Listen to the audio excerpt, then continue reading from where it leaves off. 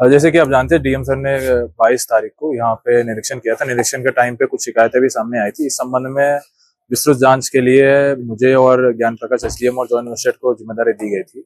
इस संबंध में हम लोग कल बैंक गए थे। एच बैंक जहाँ पे हमारा काला खाता खुला है। उस खाते से भी हम लोगों ने चेक किए कि कितने जैसे ट्रांजेक्शन हो रहे हैं, क्या है, वो सब चेक किया हमने कुछ सस्पिशियस अकाउंट्स है उन सबको भी हम लोगों ने अभी रोक रखा है। इसके साथ साथ आज हम लोग यहाँ पे S D M Badlapur Mariyahu और मछली शहर। तीन लोगों को बुलाया है और उन तहसीलों से लेखपाल भी आए हैं और सारे बस्ते हम लोग चेक कर रहे हैं। तो धीरे धीरे सारे पत्रावली हम लोग अब कुछ अलग भी रखे। हैं इन सबके ऊपर जो भी हमारे डेटा आएगा वो सब हम रिपोर्ट सबमिट करेंगे। उसके बाद आगे कार्रवाई की जाएगी। सर जो ट्रांजेक्शन सामने आए हैं उनमें जो लेन देन हुआ है जिनके खाते में गया क्या उनमें पैसे हैं या फिर उनके ट्रांजेक्शन वहाँ से विड्रॉल कर लिए गए? इसमें अलग अलग तरीके हैं। कुछ जगह पे खाता जब पैसे गया है उन सब में खाता में अभी भी पैसे हैं। कुछ जगह कुछ लोगों ने एफडी करा लिया है। कुछ जगह कुछ लोगों ने पूरा पैसा निकाल लिया है। तो अलग अलग तीनों तरीके के हैं।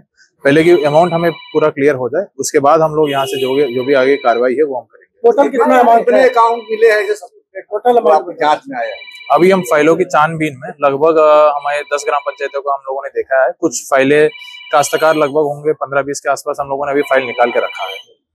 इसमें टोटल अमाउंट लगभग दो करोड़ के आसपास आ रहा है जो इसमें अलग अलग तरीके हैं जिसमें हो सकता है कि उनके फ़ाइल क्लेम जेन्यून भी है लेकिन फ़ाइल पत्रावली फर्जी बनाई गई है।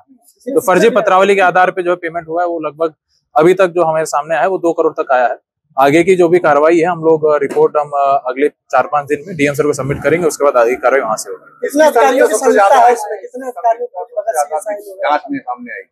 नहीं इसमें ये मुख्य रूप से यह लग रहा है यहाँ पे कि जो कार्यालय में जो यहाँ पे जो बाबू है इन्हीं लोगों की मिली भगत के वजह से जो है ये बात जो है सामने आई है कि इन्हीं लोगों ने फ़ाइल पत्रावली फर्जी बना के यहाँ पे पुटअप किया है। जो एडीएम के सामने पुटअप कराया गया था फिर ये सब हुआ। लेकिन इसकी पूरी जो है इन सब की गवाह की स्टेटमेंट लेने के बाद ही पता चलेगा और बाद ही तो जाँच का विषय पुलिस आगे देखेगी टोकन हुआ है सर?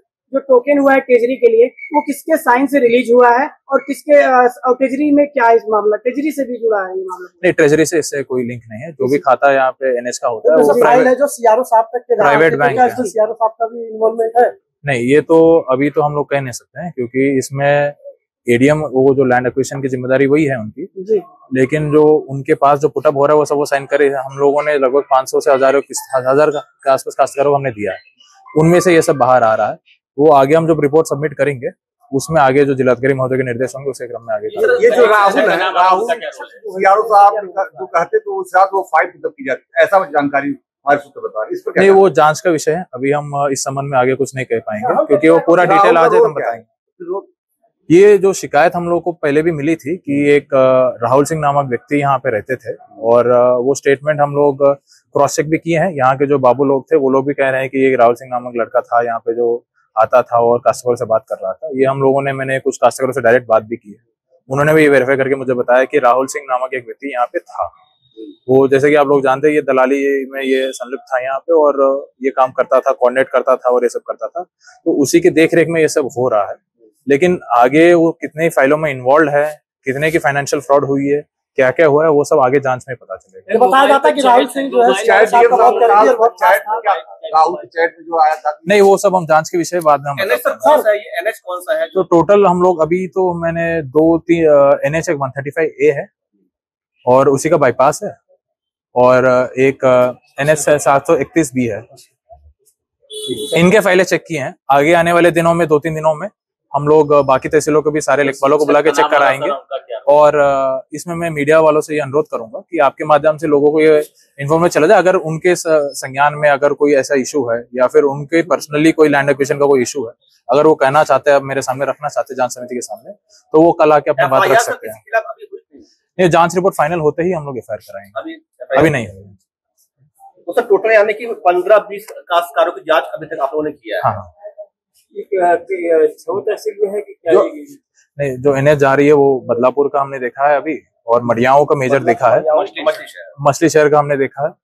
बस ये तीन तहसीलों का हमने देखा है। सदर का एक आध हमने देखा है। कब तक सब जाँच तीन चार दिन का समय चाहिए हम लोगों को। सारे तहसीलों के लेखपाल आएँगे यहाँ पे और अपने जो है बस्ता चेक करेंगे जो जो फाइलें यहाँ पे सबमिट की गई है।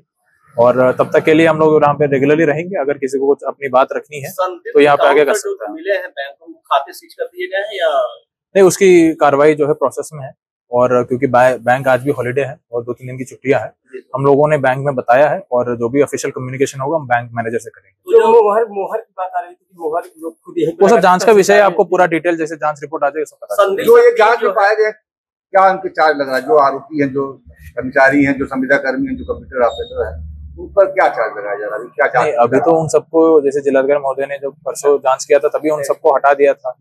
और जो संविदा कर्मी थे उनको सबको काम से निकाल दिया गया और जो बाबू थे यहाँ पे जो हमारे थे उसको कलेक्ट्रेट अटैच कर दिया गया है। और उनके खिलाफ भी हम लोग एडमिनिस्ट्रेटिव प्रोसीडिंग्स जारी करेंगे। और बाकी विषय जो है हम लोग जाँच के बाद जो है क्रिमिनल प्रोसीडिंग बनती है कि नहीं बनती वो जाँच के बाद। अटैचमेंट कोई अपराध तो है। जाँच के बाद जो है क्रिमिनल प्रोसीडिंग के लिए आगे हम सोचेंगे कि कैसे बन रहा है किसकी दायित्व हो रही है वो सब पूरी रिपोर्ट में लिख के दे दूँगा।